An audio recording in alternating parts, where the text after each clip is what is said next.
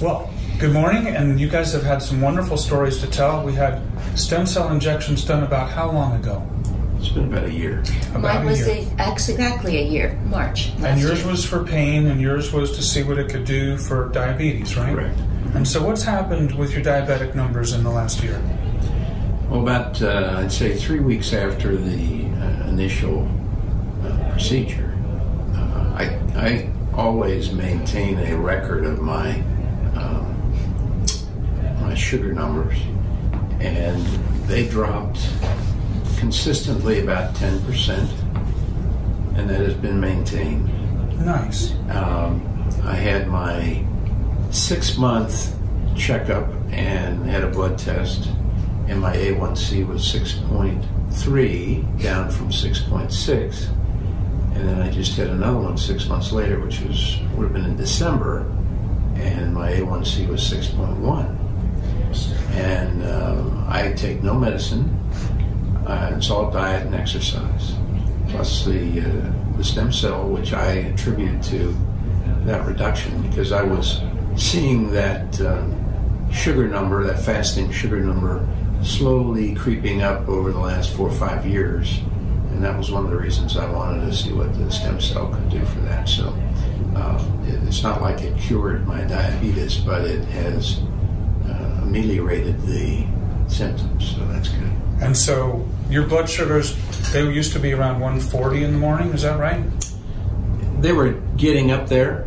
And where Uh, are they now? They're down anywhere from uh, the other day. I had one at 97, uh, which was uh, that's abnormal. That's That's a good number low. for you. That's, that's really good for me.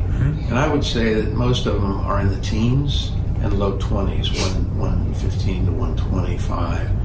Um, it varies though. It, you know, depends on what I eat. If I'm if I'm not uh, watching my diet as well as I should, I can monitor those changes. But uh, uh, I would say, from a management point of view, when I look back at the numbers over the over the last few years, uh, those numbers are comparable to one of the earlier numbers that I had when I was just diagnosed. Awesome. And yours was for pain. What's happened with that in the last year? Right. Um, well, the, the first thing, mine was in March when I had it done, and I was due to get my full physical with my, my doctor in June, and I didn't do anything different. And I had exactly um, the same tests done for all the blood work and, and everything. And um, I hadn't done anything different, and everything was was good and down about 10 to 15 percent. Cholesterols triglycerides everything. And everything was normal. That was the first thing i noticed.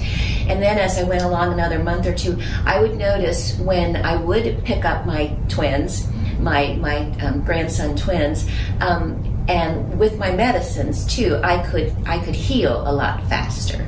So, when you um, were too physically active and you hurt yourself, you repaired better. Yes, I noticed that, and I, I noticed it.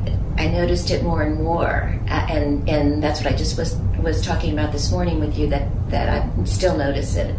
You know, that's really really helped me a more lot. Yes. Most awesome. Well, thank you very much for sharing this. Um, people need to know what this work can do. We're very happy that we did it.